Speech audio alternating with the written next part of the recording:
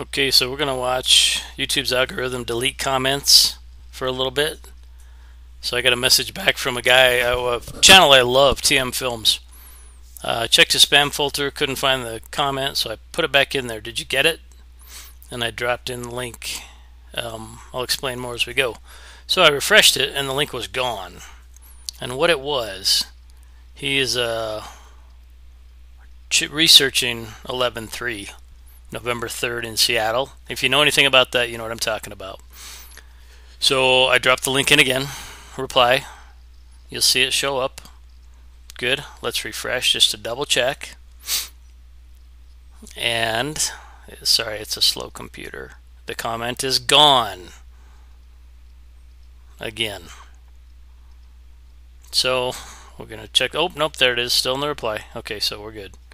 So I forgot about that. Sorry. Um, if you heard some talking in the beginning of this, I apologize. I'm going to try to upload it and mute the first part. I was listening to the radio at the same time. But let's see where that other link is. It's not, so I'm going to paste it here. Oh, crap, pasted it in the wrong place.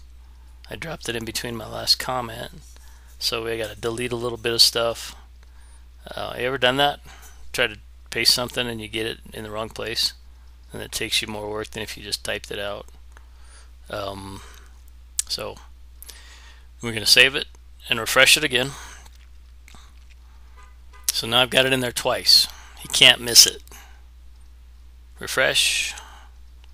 The wheel of patience comes up. That one's still there. My other one's gone. So I'm going to send him a quick reply.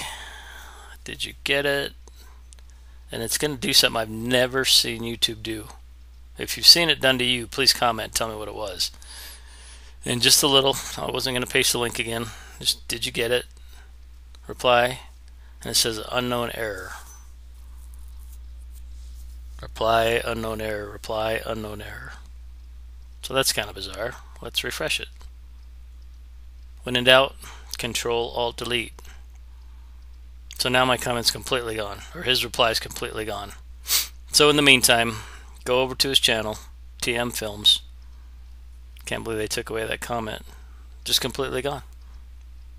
His reply. Um, TM Films Zombieland is a good place to start.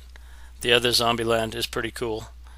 And if you uh, are curious, go search Rudy 3 and KFC, and you'll see a Secret 311 there. So we'll see how this uploads. Thanks.